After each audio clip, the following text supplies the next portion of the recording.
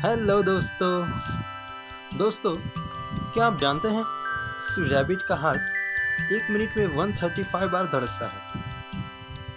उछलता छलांग लगाता कॉटन जैसा सॉफ्ट सॉफ्ट रैबिट आपने कहीं ना कहीं तो देखा ही होगा। ये सुंदर मज़ेदार खरगोश लेपोरिडी परिवार से संबंधित है। खरगोश का बच्चा जब जन्म लेता है, तब उसे बाल नहीं होते। दुनिया भर में खरगोश की कुल आठ जाति है। मेल रैबिट को बक्स और फीमेल रैबिट को डॉग्स कहते हैं। उसके कान 10 सेंटीमीटर जितने लंबे और आँखें बड़ी होती हैं। उसे एक छोटी टेल भी होती है, जिसे बॉब कहते हैं। खरगोश का वेट 2 केजी जितना होता है। उनकी लंबाई 40 से 50 सेंटीमीटर होती है। वो शाकाहारी वेजिटेरियन है।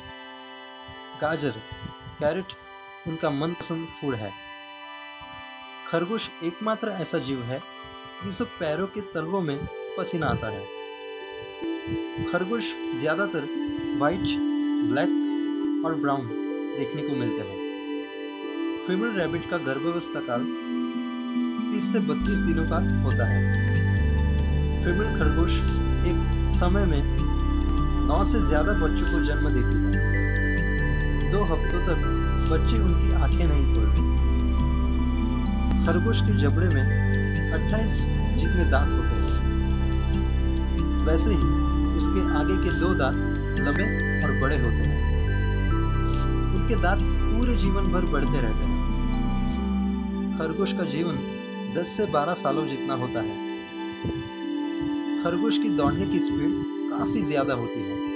वो प्रति घंटे में 60 किलोमीटर जितना अंतर पार कर सकते हैं। रैबिट का हार्ट एक मिनट में 135 बार धड़कता है।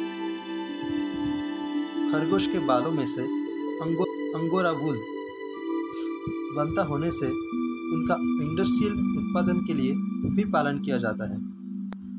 विश्व में सबसे ज़्यादा रैबिट्स साउथ अमेरिका में देखने को मिलते हैं। खरगोश ज़मीन में गड्ढा खोद कर रहते हैं।